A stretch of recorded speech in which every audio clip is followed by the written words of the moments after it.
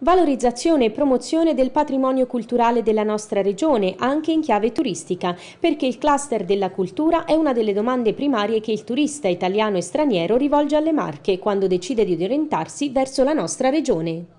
È stata questa la chiave di lettura della partecipazione delle Marche, regione ospite alla 32esima edizione del Salone Internazionale del Libro di Torino, che ha chiuso ieri l'esposizione.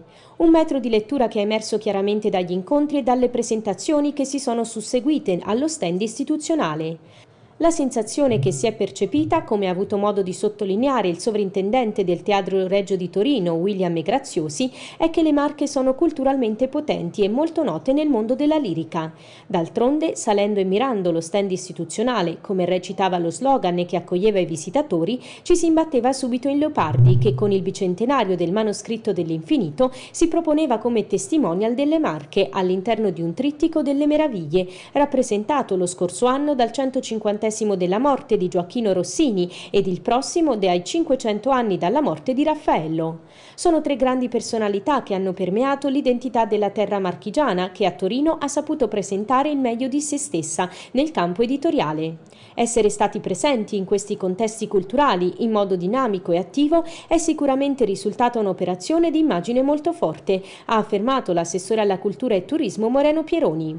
Ora l'attesa è che una ricaduta significativa del turismo culturale sul territorio. Una avvisaglia c'è stata già con le due puntate televisive RAI di Meraviglie d'Italia di Alberto Angela, dedicate alle grotte di Frasassi e al Palazzo Ducale d'Urbino. Il flusso di visitatori ha subito registrato un picco crescente. Dal momento che le iniziative del bicentenario leopardiano non sono terminate a Torino, ma tutto il 2019 sarà dedicato al sommo poeta recanatese, l'attesa e l'auspicio della regione sono rivolti al turismo acculturato. Secondo gli organizzatori torinesi, il salone ha registrato 150.000 visitatori. Presso lo stand delle Marche, la regione ha alternato più di 200 relatori con presenze significative, come quelle di Massimo Cacciari e Vittorio Sgarbi.